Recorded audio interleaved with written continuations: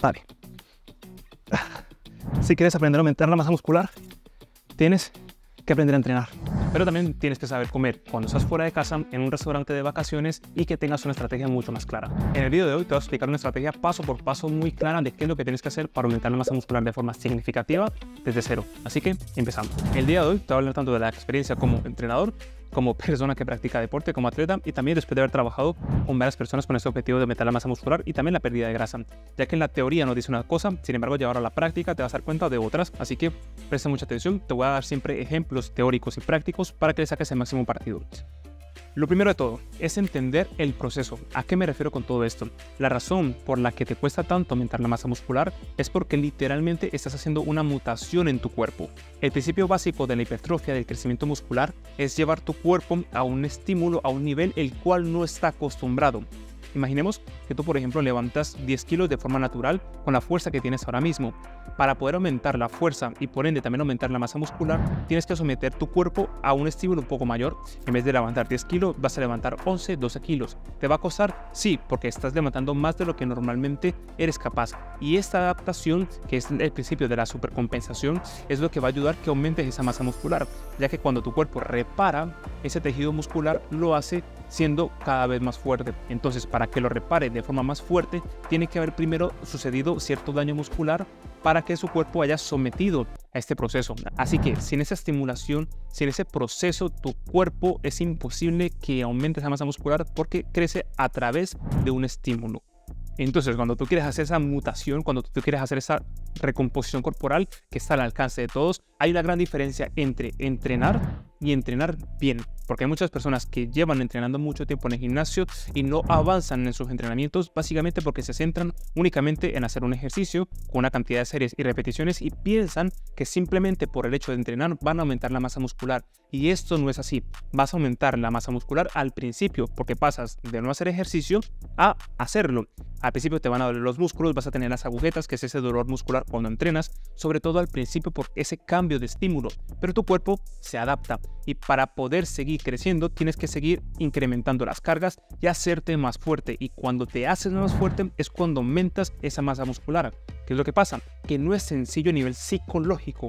¿Por qué? Porque te vas a tener que enfrentar a ese nuevo peso y normalmente psicológicamente, como vamos a ver ahora, no es fácil porque tienes que luchar contra esa voz interna que te dice, oye, para, porque te vas a dar cuenta que cuando vas a terminar tu serie con una repetición que vas a hacer, por ejemplo, 10 repeticiones, cuando vas por 6 repeticiones, por 7 repeticiones, tu cuerpo te va a decir que abandones, que dejes ahí. Y si dejas de escuchar esa voz y abandonas, o le disminuyes el peso simplemente porque sientes que es mucho, te vas a dar cuenta de que no vas a progresar, porque hace falta ese estímulo, hace falta esa ruptura de fibras musculares para poder crecer.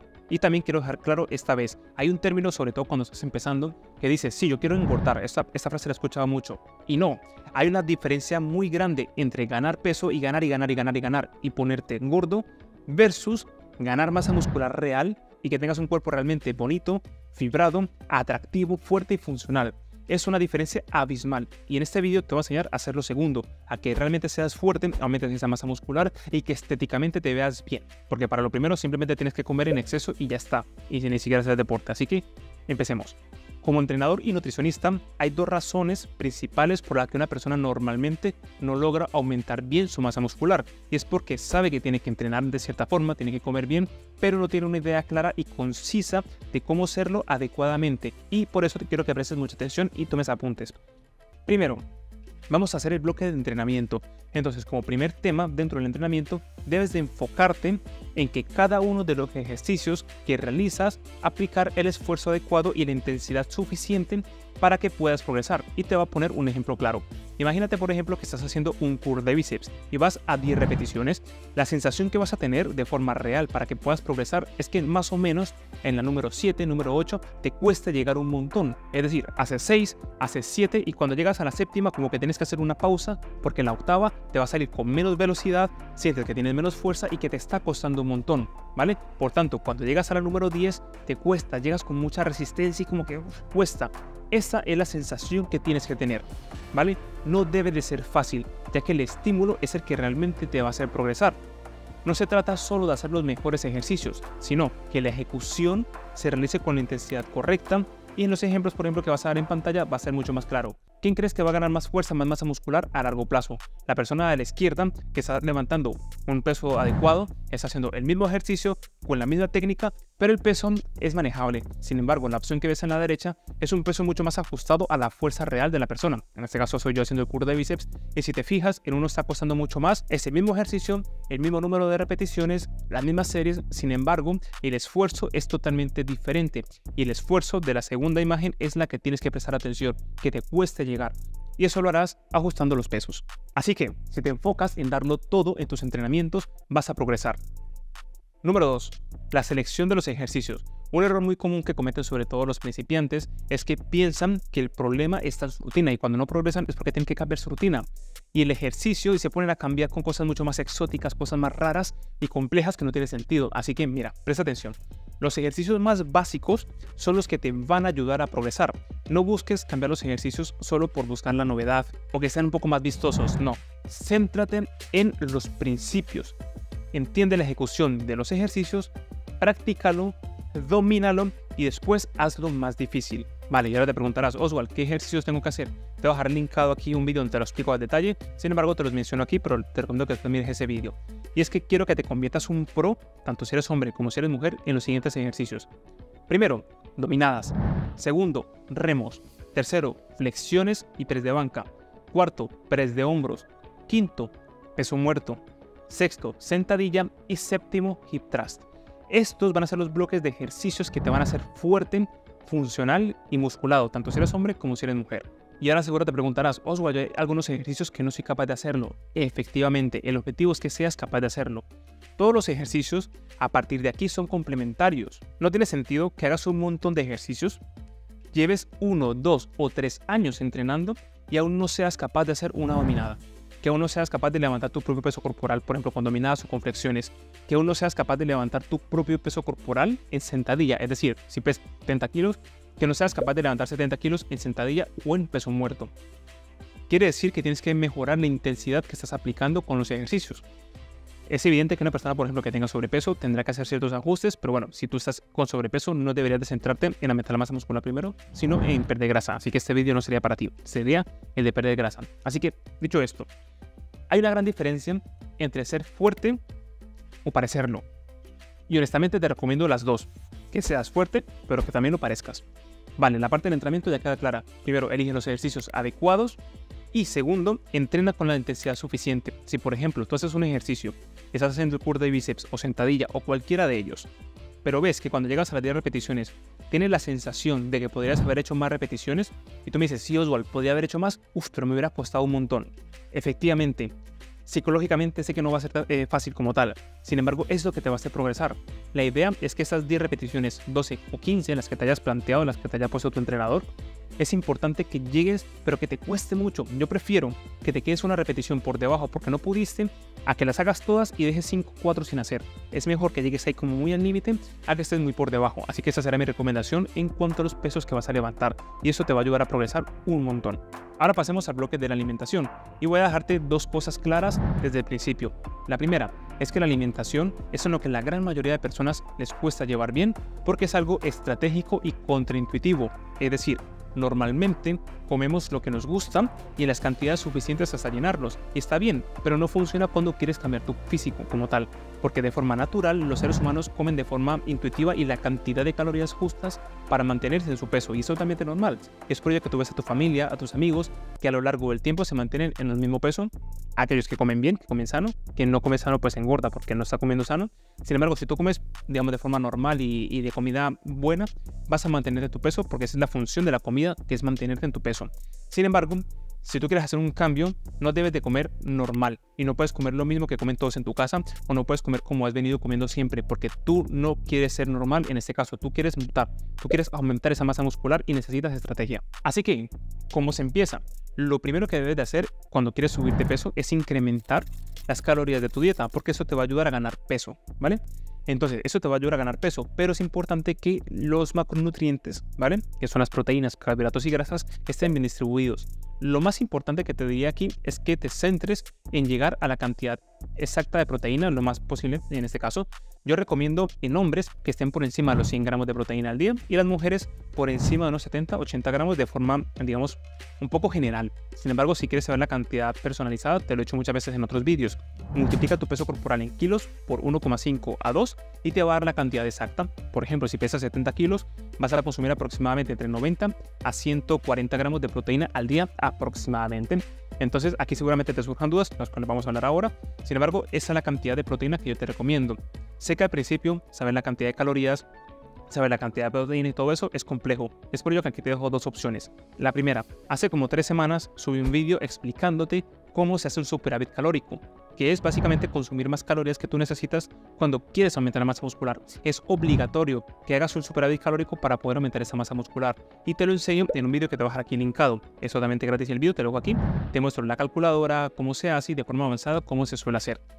Yo te recomiendo en este punto que si te lo tomas en serio, que te apuntes al club por la siguiente razón vas a tener muchas dudas seguramente de cuántas calorías consumir, cuáles son las mejores fuentes, eh, cuánta cantidad de proteína necesito, cuánta cantidad de carbohidrato, cuánta grasa, cómo se miden, eh, qué pasa si un día quiero comer fuera, qué pasa si me paso, qué pasa si no llego. Todas esas dudas necesitan una estrategia y necesitan una medición más exacta. Es por ello que vas a un nutricionista y te lo hace todo. Sin embargo, si lo quieres aprender a hacer por tu cuenta, es importante usar herramientas y que aprendas a hacerlo de forma estratégica. Si realmente quieres hacerlo bien, ahora vas a entender por qué es importante que lo hagas bien. Así que por eso te recomiendo el club, el cual te dejo aquí y en la descripción de este vídeo, porque te enseño cómo hacerlo. Te un curso enfocado 100% en el aumento de la masa muscular, entre muchas otras herramientas, recetas y todo esto, también te lo dejo allí. Pero bueno, ahora te hablaré al respecto por si aún no lo conoces. Así que esta sería la versión Pro. Ahora, ¿cuál es la versión sencilla si estás experimentando, si no lo tienes muy claro y quieres seguir ahí como experimentando? Mira, si no lo puedes medir, no lo puedes controlar. El objetivo aquí es que subas de peso de forma semanal. Ahora vamos a hablar de cuánto. Pero la idea es que vayas subiendo de peso. Mi recomendación de forma general es que incrementes aproximadamente un 10% de lo que comes actualmente porque necesitas hacer un superávit, necesitas consumir un poquito más. Entonces, un poquito más, no demasiado, porque si no vas a engordar, que lo vamos a ver ahora. Entonces vas a aumentar aproximadamente un 10%. Entonces, tú consumes tus comidas, asegúrate de comer una proteína en cada uno de los alimentos que hacer en el día. En el desayuno come proteínas, en la comida y en la cena come proteínas para que te asegures de llegar a esa cantidad. Y si en una semana o dos el peso se mantiene, te recomiendo que subas un 10% de lo que estás consumiendo. Para ello es importante que sepas lo que estás consumiendo, porque si te sirven la comida en casa y tú le dices a tu madre, si te sirves con tus padres, por ejemplo, o con tu pareja, sírveme un 10% más, seguramente te va a decir, pues sírvetelo tú. es importante que, que lo manejes bien y que sea de forma estratégica, porque si no, te garantizo que va a pasar un mes y vas a seguir exactamente igual. Y vas a volver a ver este vídeo porque vas a decir, oh, tenía razón. Así que aplícalo de una vez un 10%, ¿vale? Es lo que te recomiendo que incrementes. Si no sube de peso, incrementa otro 10%. Y una cosa que va a pasar es que si vas de forma intuitiva, yo digo que es importante que sea estratégico, te vas a dar cuenta de que te vas a llenar. Un día vas a comer un montón y dices, vale, vale, como más. ¿Qué pasa cuando comes más? Te llenas. Y cuando te llenas por la noche no vas a tener hambre. O al día siguiente tienes menos hambre y te regulas, porque tu cuerpo busca regularte. Es por ello que es importante que sigas un plan, una estrategia, unas cantidades lo más precisas posibles para poder seguir avanzando. Y esto es lo que va a marcar la diferencia en que aumentes esa masa muscular de forma consecutiva a que aumentes un poquito durante un mes y en los próximos cinco meses sigas igual. Eso es lo que va a marcar la diferencia. Así que ya sabes, en el club lo tienes todo. Llegados a este punto te vas a hacer una pregunta y es, vale, Oswald, imaginemos que ya lo estoy haciendo bien. ¿Cuánto peso debo de subir al mes? Porque no quiero ganar grasa, no quiero ganar barriga y ya está. Vale, si eres hombre y mujer, cambia. Si eres hombre, vas a ganar aproximadamente entre un kilo a 2 kilogramos al mes. Y si eres mujer, vas a estar más o menos entre 500 gramos a un kilo aproximadamente. Cabe recalcar que la cantidad de masa muscular que puede crear tu cuerpo es limitada y multifactorial. No te puedo dar una cifra exacta, precisa, porque depende de tu experiencia, ¿vale? No es lo mismo si llevas un mes, así llevas dos años. Segundo, la frecuencia de entrenamiento. No es lo mismo si entrenas dos, tres veces por semana en casa o si entrenas cinco o seis veces en, en, semana en gimnasio. Por ejemplo, la intensidad que apliques, que fue lo primero que hablamos, que llegues a tus calorías, que llegues a tus proteínas, si eres hombre, si eres mujer y tu genética. Todo esto va a variar, pero tú quieres una cifra clara, así que te lo voy a dar para que tengas una idea. Para darte un ejemplo, en cuanto a hombres se refiere, van a ganar aproximadamente haciendo las cosas bien, entre 500 a 800 gramos de masa muscular aproximadamente al mes. Y las mujeres la mitad, entre 250 y 500 gramos al mes. Y te preguntarás, Oswald, pero yo puedo subir 3 kilos. Tengo un amigo que subió 5 kilos.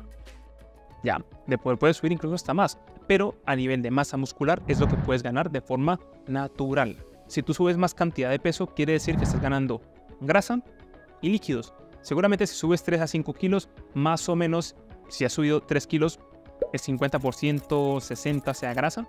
Y si has subido más, sea el 80% grasa. Así que no te interesa hacer un super calórico y comer de todo, comer hamburguesas, llenarte de calorías simplemente por subir de peso. Porque cuando subas, tú subes 5, 5 kilos al mes. En 3 meses habrás subido 15 kilos, de los cuales te garantizo que como mucho, como muchísimo, habrás ganado 2,5 kilos de masa muscular como mucho. O sea que habrás ganado unos 12 kilos de grasa. Vas a tener un montón de barriga, celulitis si eres mujer, obviamente es mucho peso, y luego vas a tener que bajarlo. Así que no tiene sentido de que te centres en comer y ya está. Tienes que hacer un superávit calórico de un 10% aproximadamente. Entonces, de forma estratégica y clara, a un nutricionista que te lo haga, o lo haces en el club, que ahí te explico cómo hacerlo y lo tienes todo ahí directamente. De hecho, haces un test y te entregamos un plan tan pronto entras desde el primer día y te explicamos cómo hacerlo por tu cuenta, porque lo importante es que lo aprendas a hacer por tu cuenta. O si lo haces por tu cuenta, sin nada, en plan, sin herramientas, sin nada, simplemente, y si eres delgado, incrementa un poquito más las calorías, un 10% aproximadamente, y vas midiendo. Y la forma de medirlo así a ojo es que no ganes más de 2 kilos al mes si eres hombre y no ganes más de un kilo y medio si eres mujer aproximadamente, porque así nos garantizamos de que estás ganando principalmente masa muscular. Pero ojo, el entrenamiento tiene que ser con intensidad adecuada, que fue lo primero que hablamos antes. Así que es por ello que yo te insisto tanto en el club, por lo siguiente, hacer un cambio físico está al alcance de todos y simplemente tienes que entrenar y comer, ¿vale? Pero como te decía, es estratégico. Primero tienes que entender los procesos del aumento de la masa muscular. Tienes que tener un entrenamiento que funcione y que se adapte a ti. Por ejemplo, imaginemos que tú empiezas y únicamente puedes entrenar tres días a la semana en casa. Está bien, vas a progresar. Pero ¿qué pasa si un día quieres entrenar cuatro a cinco días? Necesitas una rutina diferente para poderla ajustar. En el club te damos todas de 3, 4, 5 días. ¿Qué pasa si a lo mejor vas a empezar a entrenar en el gimnasio? Vas a hacer algunos cambios porque vas a aprovechar las máquinas que tienes en el gimnasio. Pues también tienes un plan de gimnasio de 3, 4 y 5 días. Principiante, intermedio y avanzado para que lo tengas todo desde que empiezas y así, si vas teniendo cambios a lo largo de tu vida, porque la vida no es estática, tengas directamente un plan de entrenamiento. Y lo mismo con el plan de alimentación. Desde que entras haces un test y te vamos a decir la cantidad exacta de calorías a consumir según tus necesidades concretas una vez termines el test. Pero además te enseñamos a hacer el plan de alimentación a medida, ya que seguramente tendrás ciertos productos en tu supermercado o según en el país que tú vivas tendrás unas costumbres, preferirás desayunar una cosa, comer otra y es importante que aprendas a hacerlo para que de esta forma tengas libertad y puedas comer exactamente lo que tú quieres. ¿Por qué? Porque si no aprendes, te vas a dar cuenta de que la alimentación va a ser muy limitada no vas a entender a tu cuerpo, un día vas a subirte peso, un día vas a bajar y no te vas a dar cuenta por qué. Es por ello que el seguimiento hace mucho la diferencia porque realmente es algo estratégico. Entonces esto es lo que va a marcar la diferencia entre que sigas progresando mes tras mes tras mes tras mes o que simplemente mejores esta semana y después te estanques y no sepas qué es lo que tienes que hacer porque seguramente tengas muchas dudas en tu cabeza porque no entiendes el proceso. Así que por eso es importante que lo entiendas y todas estas herramientas que te acabo de comentar y muchísimo más te lo ofrecemos en el club porque una vez aumentes la masa muscular, adivina qué sigue seguramente una etapa de pérdida de grasa y quieras marcar tus abdominales. Pues aquí te lo explicamos y te dejamos todo el proceso para que lo puedas hacer, además de la comunidad donde te apoyamos para que sepas exactamente qué es lo que tienes que hacer y si tienes cualquier duda, pues allí te ayudamos. Así que nada, espero que esta información te haya sido de mucha utilidad. Te recuerdo aquí lo siguiente para recapitularlo. Primero, entrenar con la intensidad adecuada. Segundo, elegir los ejercicios adecuados, los cuales te pasé antes. Tercero, que la alimentación sea acorde a lo que a ti te guste y consuma la cantidad de calorías necesarias y consumir la suficiente proteína es lo que va a marcar la diferencia y vas a ganar aproximadamente entre 1 a 2,5 kilos al mes aproximadamente en este proceso de, aumento de la masa muscular. Si no subes de peso en un mes, quiere decir que tienes que hacer cambios. Y esos cambios, pues ya te expliqué cómo hacerlos anteriormente. Sí, bueno, espero que esa información te haya sido de mucha utilidad. Si es la primera vez que te pasas por mi canal, que sepas que subo contenido cada semana como este, suscríbete si aún no lo has hecho. Y si quieres dar ese paso extra, quieres convertirte en un pro en alimentación, en entrenamiento y realmente ver hasta dónde puede llegar tu físico, apúntate al club, ya que allí te lo explicamos absolutamente todo y te acompañamos en todo el proceso. Hasta la próxima.